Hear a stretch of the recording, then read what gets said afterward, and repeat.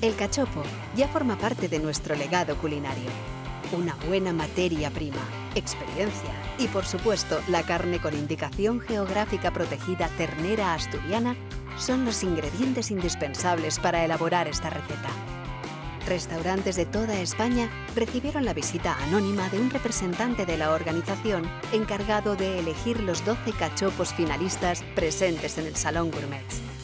Los seleccionados tuvieron que elaborar en directo su receta ante la atenta mirada del jurado, que valoró aspectos como la presentación, el empanado, la originalidad, la textura, el relleno, la elaboración de la carne, su jugosidad y, por supuesto, su sabor.